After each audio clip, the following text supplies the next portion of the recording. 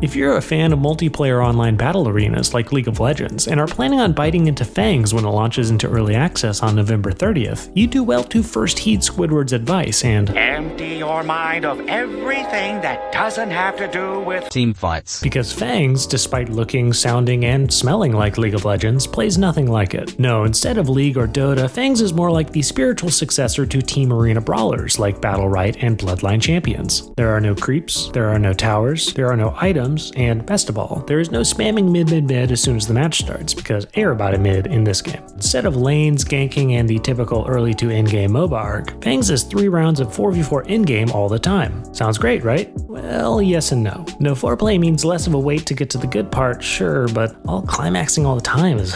Whew, I'm tired just thinking about it. Jokes aside, Fangs is made up of three pillars pushing the aspect, killing the captain, and shard running. In the map's center, a small circle encompasses a big bird looking phoenix motherfucker that will fly in the opposite side of whichever team has more players in said circle. If this bird, or aspect as it's referred to in game, reaches your opponent's side, you automatically win the round. And the longer a round goes, the faster our fine feathered friend here will fly. But pushing the aspect isn't your only path to victory. Both sides also get a randomly selected captain per round, with 4 lives each, not to mention a couple of extra augments. More on those in a minute. Thus, there's a whole meta built solely around captain killing, Big Bird be damned. If neither of these objectives tickle your nipples, you can always spend the whole game shard running, as each of the three types of shards convey different team wide buffs. Collect all three, and you're almost guaranteed a dub. And that's about it. Pretty simple, right? Again, yes and no. Despite simplifying the modern MOBA, do not mistake Fangs for a simple game. For one, there are only skill shots, and the game's augment system allows you to significantly alter the way they work at the end of each round. So, while certain team comps are certainly better than others, you'll at least always feel like you have a skill based chance, be it through augment fiddling brains or mechanical keyboard smashing brawn, to win.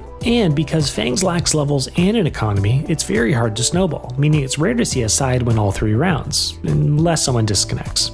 The end product is a super fast paced, skill centric MOBA with a well balanced 14 hero roster. And because it's free with what appears to be nothing more than a harmless cosmetics shop, I don't see a reason to not recommend this game to fans of the genre. That said, I do have a few gripes, most gripey among them being that Fangs could definitely use a trip to the dentist because that smile looks rough, y'all. Really, how can this game look worse in seemingly every way from textures to lighting to UI than do genre peers that came out a decade ago? And it's not just aesthetics, as the actual UI is very hard to read. As for audio, the current soundtrack is repetitive to say the least and in no way dynamic. Instead of, for example, ramping up in intensity the closer the aspect gets to either side, the music more or less stays the same from round beginning to round end. It doesn't help the audio equation that the voice actors themselves sound amateurish.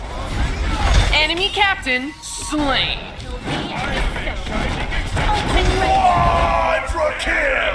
In my opinion, these bombastic callouts clash hard with the game's high fantasy setting. Ditto that for the often cheesy, tension killing hero banter. But these concerns are insignificant when juxtaposed with Fangs' disappointing map variety. All three are small to begin with and just slight permutations of each other, meaning the already simplified objectives are given less room and opportunity to create novel situations. This holds Fangs back from top marks for value, but MOBA fans should still get plenty out of it. So, at least at this stage of early access, Fangs ends up earning a subject to change aggregate mega score of 2.8 out of 5, and is one of the few games I've ever recommended that falls below a neutral 3. Until we revisit Fangs at full release, this is Scope, and thanks for watching.